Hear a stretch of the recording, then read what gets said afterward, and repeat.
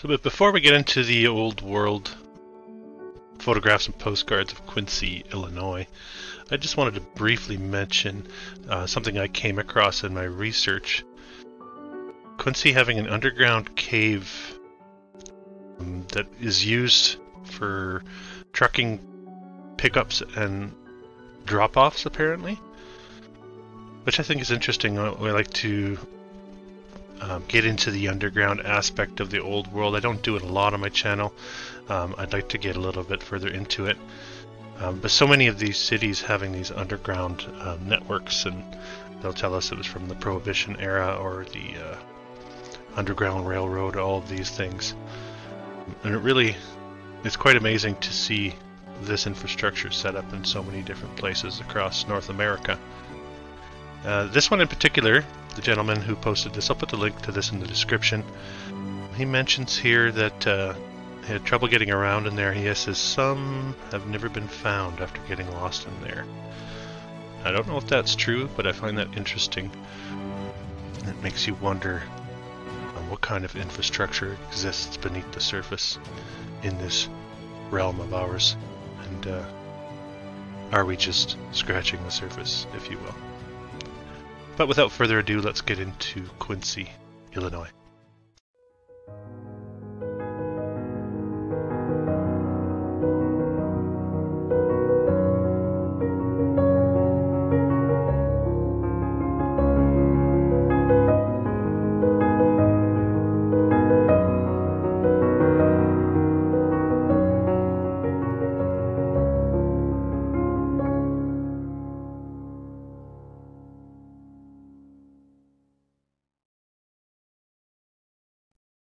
Begin with some geography. We can see here Quincy, Illinois, situated on the Mississippi River. Surrounded by many cities that we have covered here already on the channel. Um, pretty much every major city that you see around here I've done. And I always like to bring you the population demographics. Quincy, modern day, uh, right around 40,000 people. Interestingly, a very similar population at the turn of the 20th century with 36,000. And many of these structures that you're going to see having said to have been built um, right in and around the 1880 to 1900 and, and, a little bit further on. So as you can see here, not a not a large um, city by any means. And if you're new to the channel and wondering what my angle on all of this is? Well, the suggestion here is that the historical narrative that we've been given down through time is uh, is a distortion, is a timeline distortion, and what we're actually seeing is uh, architectural evidence of uh, buildings that have been around longer than we are being told, and often you get a, a date plastered on the front of the building um, as an attempt to uh, cement the narrative that uh, that we are being made to swallow, let's say. And we are trying to highlight here the discrepancy between the means we are told they had at their disposal when many of these buildings were said to have been built. The problem there being the low population numbers, the rudimentary technology available to them at the time. You know, we're being told the Industrial Revolution is coming in but not really revolutionizing the building process until you get into the 1900s when you get into more hydraulics and uh, um, power um, sort of being refined, the use of power being refined in the building process. So we look back and we see so many of these multi-storied structures and very, very ornately decorated. And the suggestion here is that there is a disconnection between what what was actually built, when it was built, and what we are told um, they had the means to do at that time. Uh, some other problems with the narrative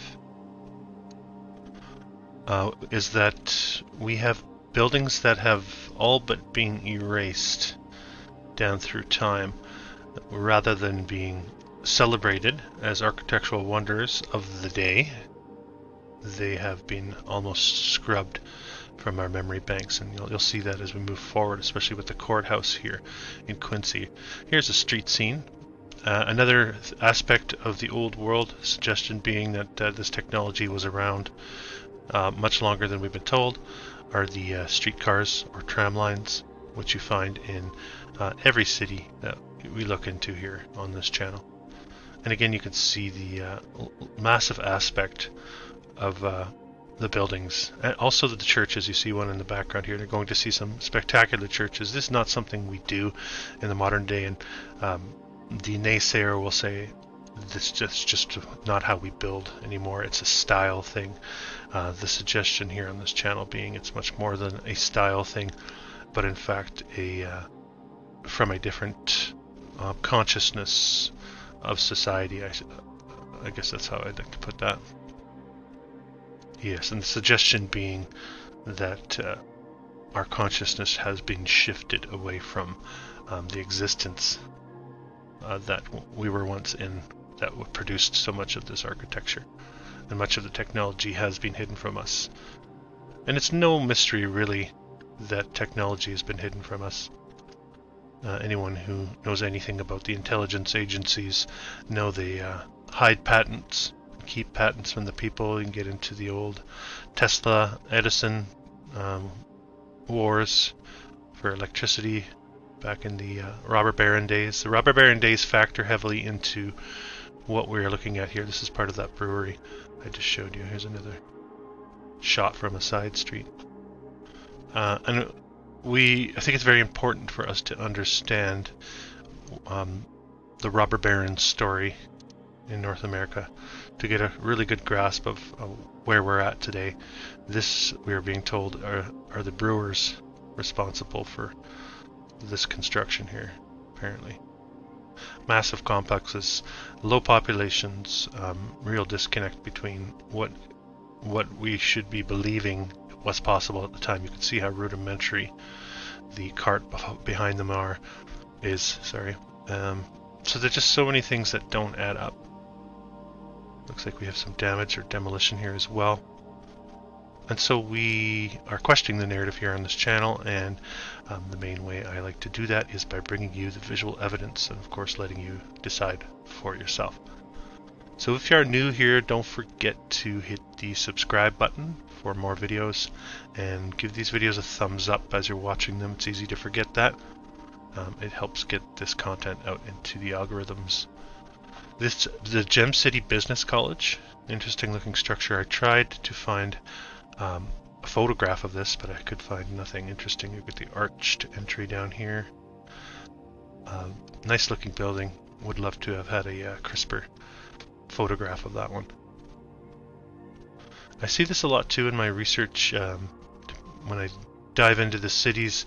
They often have their own banknotes, um, whether it be the local bank or the county bank or whatever it might be. This thing, 1873 here, very early time period uh, right after the American Civil War, which I have suggested was uh, certainly not as we have been told, but in fact uh, a trigger event that uh, um, hastened the hard reset of North America. That's when you get the onset of the uh, World's Fairs and the reshaping of the narrative. You get the Royal Society folks pushing their ideas of the cosmos and, and of biology and all the rest of it. This is funny. I wanted to include this just to show you how silly some of these postcards are. They almost seem to be obscuring the architecture. See that quite often as well. And I thought I would include some of these uh, advertisement style postcards from the past. Selling uh, a stove, it looks like. And because of its proximity on the Mississippi River, um, you've got a large steamboat narrative attached to the uh, of to Quincy. And this is something I haven't talked a lot about on my channel, but um, much like the trams and the streets, the suggestion here is that these steamboats were a uh, part of the old world technology that was heavily in use. Um, many of them very, very beautifully decorated. Um, and the possibility here is that the steam technology as we know it was modified and uh, previously these would have run on a much cleaner um, source of energy. Of course, it's all speculation, basing based off the assumption that there are technologies uh, in energy production that we are not aware of. So if you decide that you are aware of all the possible technologies that have ever existed and that's what we have been given and there's no funny business, you go right ahead and have that opinion. I, I beg to differ.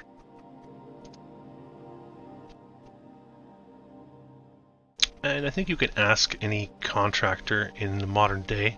And of course, if you were in the building trades, I always like to hear from you in the comment section on what you believe should have been possible at that time. If you ask anybody to try to reproduce these ornate styles of buildings, they will tell you the difficulties and the timelines that uh, are likely to be faced when attempting to build those. Yet we have uh, often very short build build timelines and uh, um, very, very, very ornate and elaborate um, interiors and exteriors. Um, I, I saved this one just to give you a sense of the streetcars. Can you envision that old world with the brick paved streets and the tram lines running up and down all of these streets? Um, there's definitely a bit of a romantic um, feel to the old world that we can get a fleeting sense of as we dive into the visual um, remains of the past. Much of this technology, again, looking old. And even just pointing out some of the minor um, details is like the, the baying of this window complex in each position here the uh, addition of the circular windows and the balconies, all of these things are um, very frivolous uh, and difficult to envision uh, having been completed in the 1890s, where they'll say this one was built. Um, according to the narrative that we've been given. So I'm, I'm, not saying these buildings don't exist. I've had people ask, what are you trying to say? Are these buildings not real? And certainly not at all what I'm trying to say. What I'm trying to say is that there's a problem with the timeline. And part of that problem comes with the destruction of uh, many of these amazing structures getting destroyed by things like fire, which is an absolute ridiculous uh, Ridiculous thing to suggest a stone or brick building is has been destroyed by fire. Here we are looking at the Chaddock Boys School. And another theme that seems to repeat itself with this old world research has to do with the early um, schools, boarding schools, um, orphanages, and so many massive structures used to house the uh, young generations at the time, and of course to program a specific reality into them. I have done enough videos now to notice the patterns arising with the architecture, how you see so many of these cities almost like being carbon copies of each other as far as the types of buildings that have been built and the designations of each building. It's an interesting uh, thing to watch as I go through my research, just the similarities, the amount of, for instance, the amount of Presbyterian churches that would or should have been built at that time is uh, is absolutely staggering when you put it all together. And then you have to factor in the resources that the church should have had at the time. Um, and the more research you do, the, the less believable it all becomes. Same church, you can see how some of this has been neutered or detechified, as I have said. They've taken off the balls here at the top and the decorations up here and muted a lot of the uh, features. So although many of them do stand, a lot of them have been muted, for lack of a better word. I will say this though, those Quincy Presbyterians certainly knew what they were doing in, in the church building end of things. Unfortunately, this one was destroyed in the 1945 tornado, which we'll be taking a closer look at as we move forward. Here is a photograph of the remains of this church. So they detechified it and eventually they get rid of it altogether. Certainly not looking like it's less than a 50 year old building, 60 year old building. This looks like it could easily be a hundred or several hundred years old. But maybe that's just me. Quite a few churches, as as mentioned. This is also another spectacular looking structure. The Vermont Street Methodist Episcopal. Some of it looking like a drawing, as you can see down here. And to my knowledge, this one no longer stands. This is the Salem Lutheran United. Of course, does still stand. Try to picture this city of less than 40,000 people um, shooting up churches all over the place. Uh, not just any old box with a with an open area. Uh, we're talking about highly, highly decorated churches. This is St. Francis Solanus Church. Take a look at the roof, looking like slate. Spectacular work. How many brickies did they have in Quincy, Illinois? So just a quick look at the interior of St. Francis there. The suggestion here is Old World, and the uh, suggestion is also that uh, not originally um, built for the purposes of um, worship in, in, the manner that we uh, um, do today. That's a New World invention, um, the way that we worship in these churches. A lot of it uh, has been laid out for us. And that they actually had a different purpose and the cymatics had a lot to do with it meaning the sound that they were able to produce with the bells and with the pipe organs was able to emanate out into the communities and uh, was a part of the harmonics and healing of that area. And they were strategically positioned for that reason is, is my suggestion. St mary's catholic church yet another church we have a hospital connected to St. Mary's. A lot of them, of course, uh, postcard, meaning I had trouble finding um, photographs. I did find one of this one. But, so the, the always the need for a mansard floor, like one, two, three, four floors wasn't enough. When they designed this, they had to have that fifth floor, and they had to incorporate that as part of the roof. You can see the slate patterning style going on here too. Very difficult to accomplish this type of uh, architecture in the construction process. This also we have the academy, so again one of those buildings purposed for educating the youth. And here's here's a look at what it looks like in the modern day. So let me jump back over just to show you what they do to these. So the steep, steep, steep portion has been removed and replaced with a very flat roof. Still look, amazing looking church, but taking a little bit of that flare off, just enough to possibly hide um, the splendor. Enough to justify potentially a demolition eventually. This is St. Peter's Church. No shortage of churches in Quincy, a devout people. We have the City Hall, looking crenulated, looking like it could easily have been a um, armory. Crenul crenulations being the uh, styling you see up here, but we find in this other photograph that was not always the case. Now, I suspect 1905 we're predating what we're looking at here and this was a modification and a flattening of the roof line where once it looked like this. Nice eyebrow dormer here on the top. And again this is something that we see um, often as we look at the old world architecture. Now let us continue. A little look at the college modern day college uh, originally built I think by the Franciscans. Of course those Franciscan monks knew how to lay a brick or two um, clearly to me looking like the, some sort of peak has been removed from this tower as well. But that would have been a while ago, so you have this. Interesting, you have a receiver tower on there in this one, so something along those lines. Beautiful brickwork, timeless brickwork, uh, looking impeccable.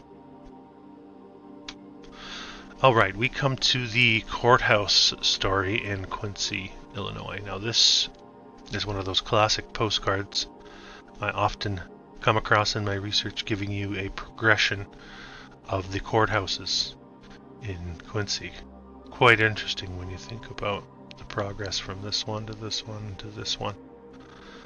Um, this is one of those stories that I have a real problem with in the historical narrative when I see this off quite often as well. If you take a look at this building, you would think if this building existed in your town, first of all, you would think you would do everything you could to restore it after it gets damaged. And second of all, you would think that this would be absolutely celebrated, um, that many pictures of the interior would be available, um, many pictures of the exterior, uh, and it would be celebrated in all the schools and it would be plastered over all the parks. You just think that this would be something the city would want you to know about when you came to Quincy. And the problem I have with that is I'm showing you the handful of photos that I was able to even find um, that give us a visual of this building. So they're saying that this is the second one, built in 1837, destroyed by fire 1875. Um, interesting. So this is the second one. It's telling us it's 1876, and they're saying that this one was destroyed by fire. So we've got some timeline issues here. We look at uh, we look at the Wikipedia, what they say about the courthouses. So you saw those three, right? The structure was a square log building and completed in 1826 and it was destroyed by fire 10 years later. a new brick courthouse was begun, but it too fell prey to fire in 1876. That's the one we're seeing here. So, interestingly, they don't actually tell us when the, the second one was begun. Was begun like that. Um, the third one that we have been oogling here apparently was completed and occupied in 1877. So second one burns down in 1875, completed occupied 1877. There's a two-year window to develop the the the land, to design the building, to construct the entire thing, finish all the interiors, and move in. Two-year window. Do you see the problem with the narrative? Those of you out there that are new to this, does this not make sense to you? It doesn't make any sense to me that you could accomplish a building like this. And again, 1877. In the 1870s. This is just after the American Civil War. And you're going to tell me that they they threw this thing up in less than 2 years in the 1870s? No wonder they don't want you to know about it. And what happened to it? Well, here we're looking at the 1945 tornado in Quincy. And uh, we have a list here of some of the buildings that were um, destroyed or damaged. And also have a martial law area, uh, a section of the city apparently that was under martial law. Uh, we're going to look through some of the damaged um, buildings that have been provided to us, some of the photographs. This is apparently the courthouse. Uh, suffering damage. Apparently the entire roof blew off in a tornado. So you believe if you believe that 1945 doesn't doesn't sit right with me. Seems like they're trying to get rid of this thing, and there isn't really much documentation available online to dig any deeper on that. So you've got all sorts of tornado damage. Apparently, tornado is not uh, not typical in this region as well. So that's also suspicious. There's that second courthouse again. Even that one, to think that building this kind of thing in the 1830s is laughable, according to the narrative we've been told. They're all dying of cholera and fighting in wars, and there's nobody there in the 1830s anyway. As we're told, anyway. So, real problems, gaping holes in the narrative. Uh, this is the type of transportation that we expect to see. Even these two side by side the uh, streetcar and the horse and buggy, rickety um, horse and buggy are comical when you really put it together. Here we're getting another narrative re repetition. The Quincy House, built in 1838, destroyed by fire in 1883, it looks like. That's also interesting because we had the first courthouse being built in 1860. So you've got this structure being built and you've got the courthouse being built within a two year time period of each other at a time when, well, we don't even know the population of Quincy and because the census begins in 1840 at 2,300 people. So you tell me if a town of 2,000 people has the capacity to build this. I say no, not even close. Um, Hotel Newcomb here we have the replacement, we'll be told. Uh, and that's what the fire narrative um, provides with the false historical timeline is a, a false start for these magnificent looking structures. Rather than us being able to su suggest they're older, we are being told this one was built after the last one burnt down, so it had to be built within a time period that we've been given. Very uh, Nice looking structure with a really spectacular looking dome. Built this in the 1880s. This is also interesting as well. This uh, power pole here. Interesting shapes to it. Here, let's... I just wanted to get in a little closer for those of you that are interested. Because I've seen a lot of what they're called telegraph poles and things like that, but this is a unique shape for me in my research. Oh, but moving right along, we have Hotel Quincy. We have a nice looking junior high school. You can see here. Interesting because you're getting a bit of this cathedral-esque Gothic styling, which uh, seems quite over the top for a, uh, a school. The budgets were just that uh, beefy.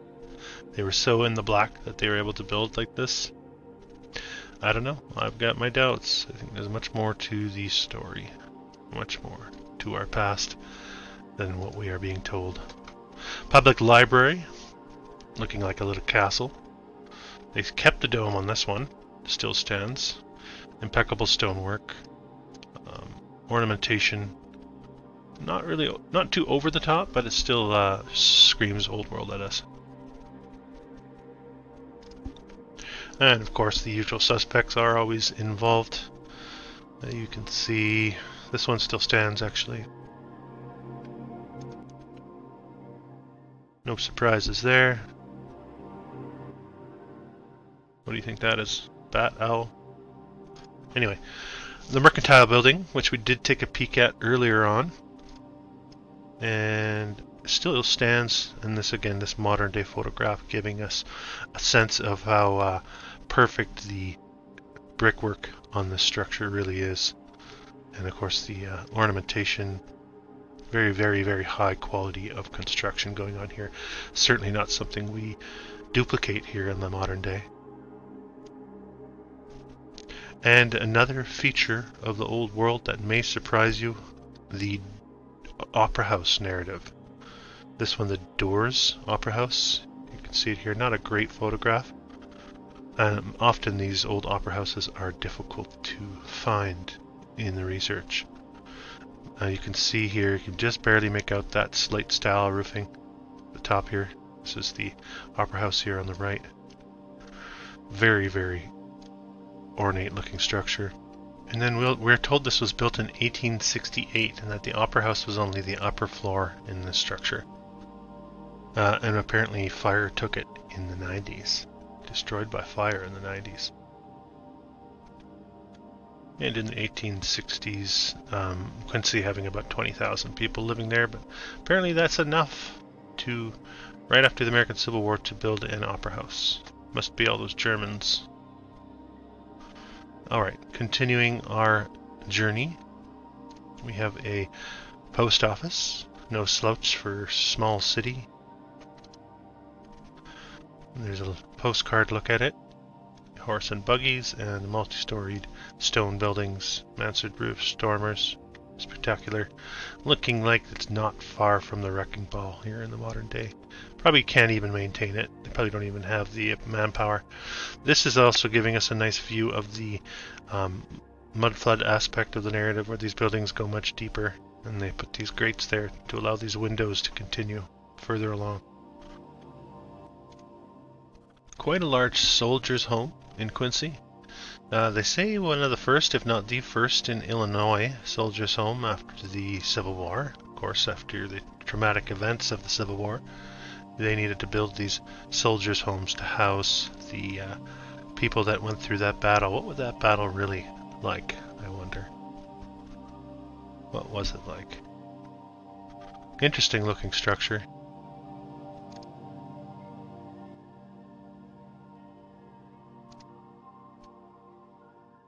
All sorts of brick structures. They have the columns, no need for that, but they did it anyway. I have a few more modern photographs just to give you a sense of that uh, high quality stonework going on on the structure. Of course, they're going to put this on the corner because it's just so easy to do. That's classic old world architecture. And not far at the South Park in town, we have a massive stone bridge as well. All architecture and infrastructure that uh, would be a tall order, according to the narrative we're given. Okay, St. Francis School. I'm getting to the end of the file here now. And I thought these two were the same, but I don't think they are.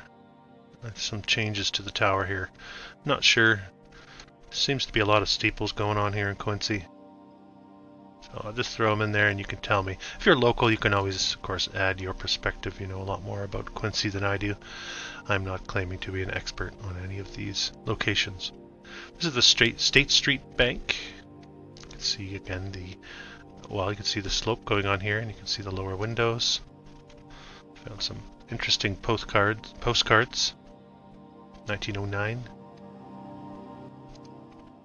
Hmm, very grainy photo of the Temple B'nai uh, and I wanted to include it because I found an old photo of it with um, much more decoration on top. You can see again where the, this building cuts it off.